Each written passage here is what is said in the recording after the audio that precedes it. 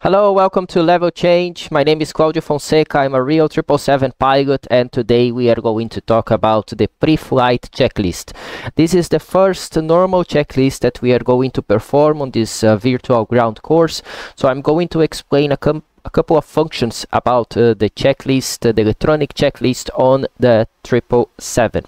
So as I told you on the previous uh, videos, uh, once uh, captain and first officer both finish the pre-flight procedure for their respective side, captain is going to call uh, for the pre-flight checklist itself. So basically what we have in sequence is something like this. So the captain that is seated on the left side is going to call pre-flight checklist. Then the first officer that is seated on the right side will make sure that the lower center is selected on the display select panel and is going to press checklist. When he presses checklist, the checklist is going to appear on the lower center. Have in mind that every time that you press the checklist button, the checklist page is going to open on the next non-normal checklist if there is a non-normal checklist pending or the next normal checklist in a sequence okay? So basically first thing that i want you to know that uh, the normal sequence for the checklist is pre-flight checklist before start checklist before taxi checklist before takeoff checklist after takeoff checklist descent checklist approach checklist landing checklist, shutdown checklist, and secure checklist. Okay, for the videos about checklists, I'm not going to bring you any document created by myself because all the checklists displayed here on these videos uh, that are brought to you by PMDG, they are the real and most updated normal checklist up to the 5th of August, the day that I'm creating uh, this first video about checklist, which is the pre-flight checklist, okay? So, as that is non there is non non-normal checklist at this stage, when you press the checklist button, is going to show you the pre-flight checklist okay so we notice that the first officer verify that the checklist is coming to this lower center screen and then he press the checklist function okay?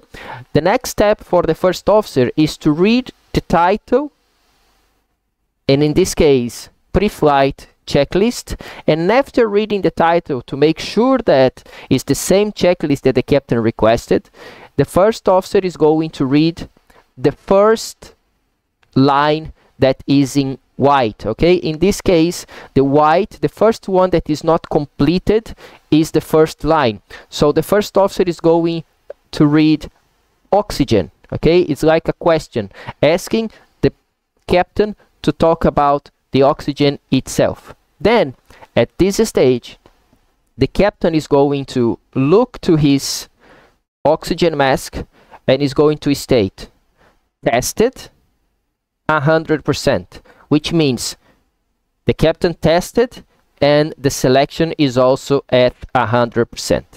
The next step is the FO doing the same thing.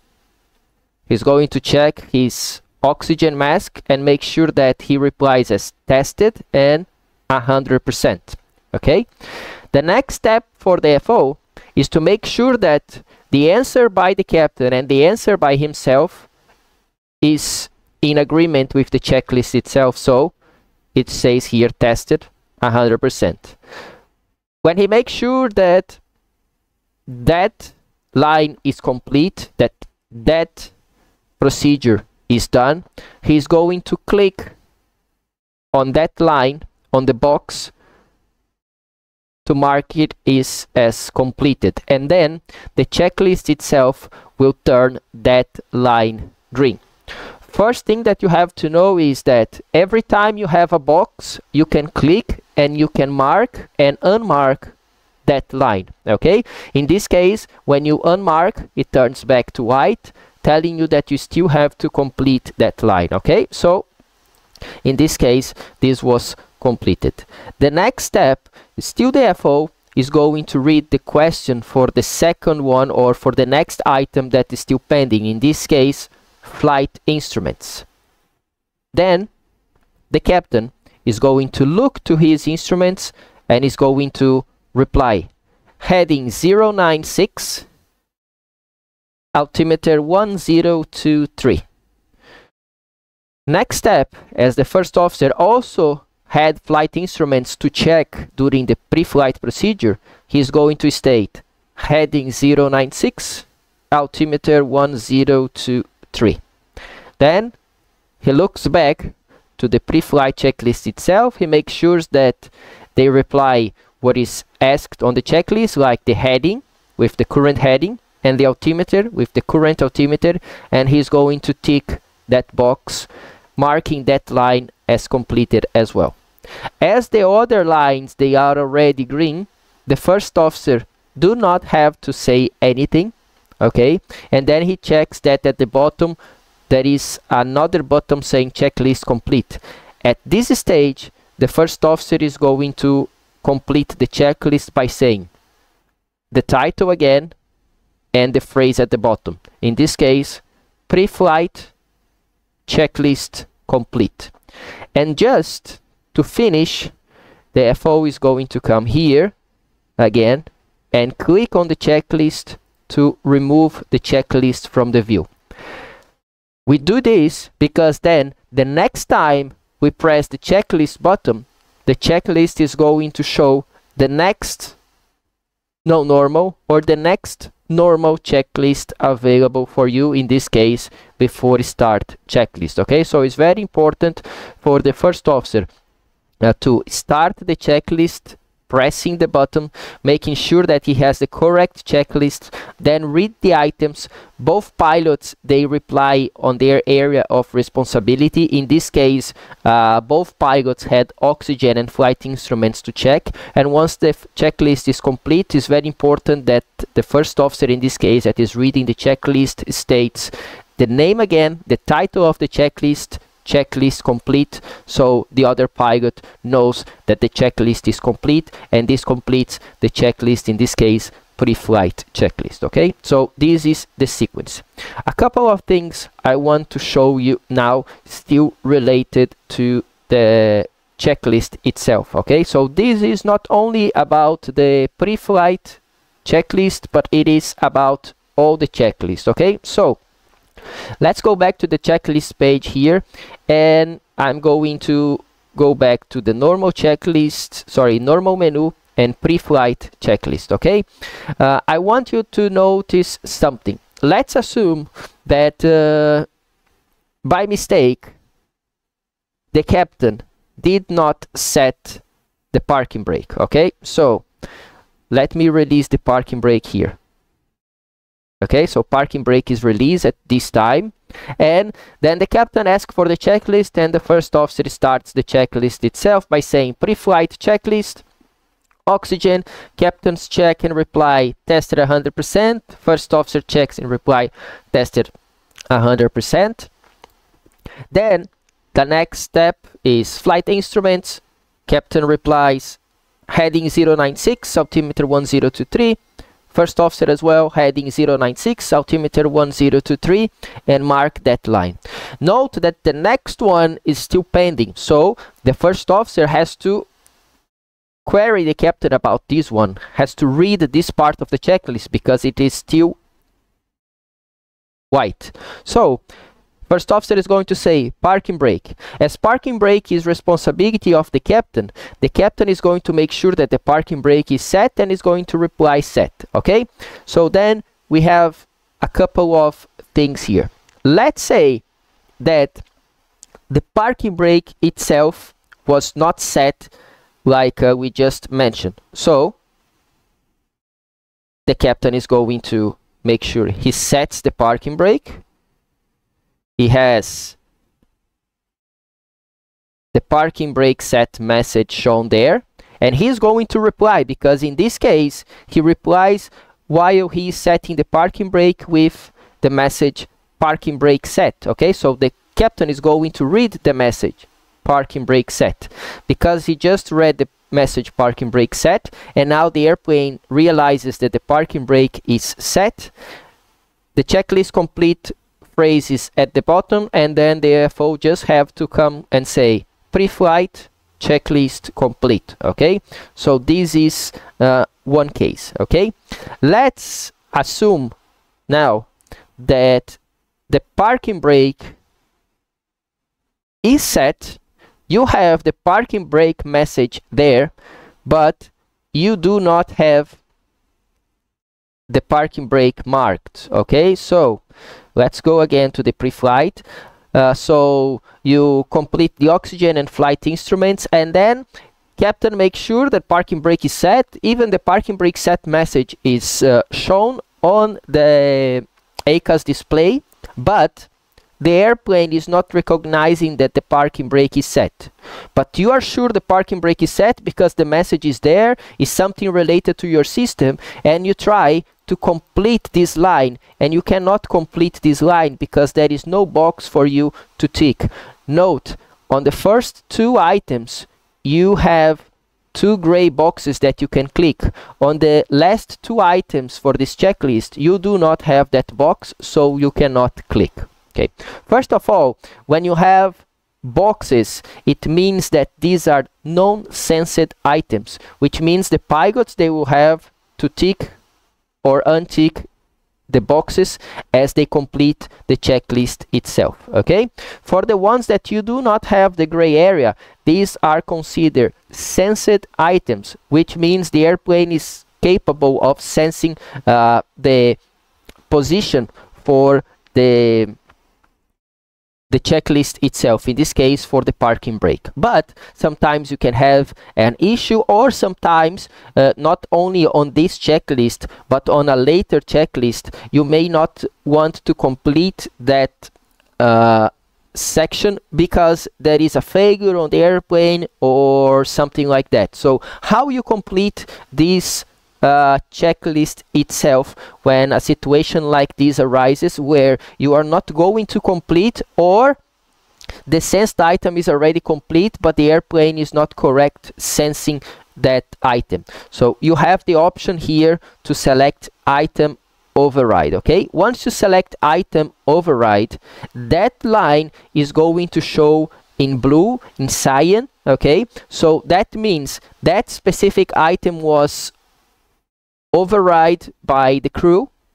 So the airplane takes no responsibility about it, okay? But it allows you uh, to skip that item, okay? And then, because you have three items complete and one item overrided, you still have the checklist completed. And then the FO in this case is going to call pre-flight checklist complete, okay?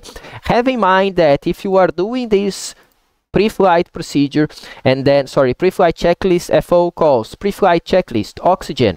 Captain says tested 100% first officer says tested 100% tick the first item. Then first officer calls flight instruments. The captain says heading 096 altimeter 1023 first officer also states heading 096 altimeter 1023 then the next step is going to be parking brake. Then in this case, let's assume that the captain uh, said parking brake set, reading the EICAS, the EICAS message, and then he says like this, set item override. Then the FO comes here, press item override, and then pre-flight checklist complete and closes the checklist okay so this is the proper way to override an item and to complete the checklist okay? So whoever is in charge is responsible for that item is going to state the correct indication in this case parking brake set and is going to ask for item override okay? Have in mind also that there is a difference between item override and checklist override okay? Uh, for the item override you are overriding each item okay? And this also includes uh, any item that can be on uh, nonsense as well. So let's do a checklist reset. So the first item is oxygen okay? So you can also override oxygen. Let's say that you had a problem with your oxygen system and you are going to make a short flight between uh, two airports at low altitude because at the new airport you are going to refill your oxygen so you do not need oxygen for this flight. So in that case, uh, the pilots are going to override the item okay so you can still override items that are nonsense as well okay? So in this case uh, we override the oxygen okay? And then you are going to complete the flight instruments and let's say that the parking brake also has a problem you can override that item as well. Once you have all the items completed or overridden you will have the message checklist complete okay? Uh, let's assume that you did your uh, pre-flight checklist okay? But uh, once you are in flight or during your uh, engine start procedure uh, there is something wrong with the checklist and you need to reset all the non-normal again. Okay? Then once you go to the normal checklist it's going to show the pre-flight checklist but you already completed the pre-flight checklist before and now you want to go to the before start checklist itself. So instead of overriding each item you have a button to override the checklist completely okay? So you press checklist override and it says checklist overridden and then the next time you open a checklist is going to show you the next before start checklist. Okay, so actually uh, the action for the checklist override is for you to sequence to the next checklist itself. Because one more time, every time that you open a checklist is going to open the next one in sequence. Okay, so let's say one more time you reset normal okay? Then you reset it. The pre-flight is already complete. Now we are talking about before start and then you want to go to the before start. You press checklist and it opens on the pre-flight because you reset it and this is not completed by the system because you just reset it. So but you are sure you are already complete. You come here checklist override which is going to turn your next active checklist as the before start. So you can close open again and then it opens at the correct one okay? So this is a couple of things about the checklist resets itself uh, the normal menu sequence okay? And how you handle uh, the checklist about clicking the items that you completed overriding the items that you do not want to complete until you have uh, the checklist uh, complete okay and anytime you are doing a checklist like we were doing and you want to start over you have the button checklist reset and then you restart over okay? So I turned it off the parking brake just to show you uh, the indications itself and how to override the items. So in this case I'm going to set parking brake again. I want to make sure that the parking brake message is set and then the pre-flight checklist is complete okay? So I'm going to uh, close the checklist. So the next checklist will be available uh, for us uh, that is the before start checklist that we are going to perform after the before start procedure okay? So I hope uh, you like this video. If you like if you learned something give us the thumbs up and also share this video with your friends and I see you next time uh, with the continuation of this virtual ground course on the Boeing 777. See you guys. Bye bye.